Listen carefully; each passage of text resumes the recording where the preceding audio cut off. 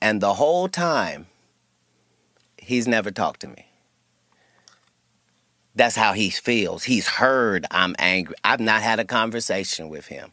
It's the same with your Ali Siddiq. If it wasn't for the information that I know in my intel, I would be a fan of his like everybody else. Who wouldn't be a fan of a young black storyteller that's done time and loves his family and is a hometown guy? Like, who, why would he ever have any enemies in comedy? It's ludicrous.